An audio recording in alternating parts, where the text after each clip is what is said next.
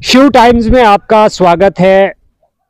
Democracy का पर्व आज बड़े ही जोश व जज्बे के साथ उधमपुर, डोडा, कठुआ पार्लियामेंट्री हलका में बड़े ही जोश व खरोश के साथ मनाया जा रहा है। लोगों में काफ़ी उत्साह वोटर्स में काफ़ी उत्साह देखने को मिल रहा है।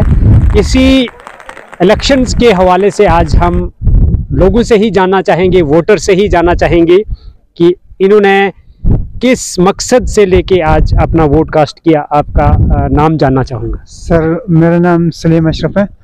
जो सर हम आज वोट देने आए यहाँ पे हमें बहुत अच्छा लगा। पहली बार हम पहली बार आज वोट रहे हैं।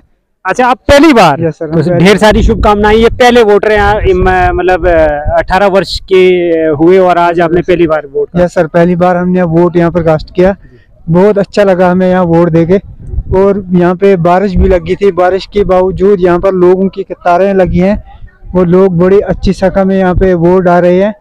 तो सर हमने जो वोट यहाँ पे दिए बड़ी डेवलपमेंट की डेवलपमेंट देख के सर बड़ी बड़ी काम काम काम देख के हमने यहाँ पे वोट किया।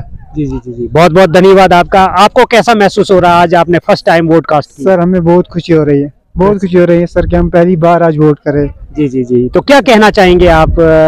क्या रहेगा? किस तरह का उत्सव यहाँ पर देखने को मिला? आज लंबी लंबी कतारें यहाँ सर बहुत अच्छा बहुत अच्छा। यहाँ पर लंबी लंबी कतारें लगी हैं। सर बहुत हमें यहाँ पर देख के बहुत अच्छा लगा।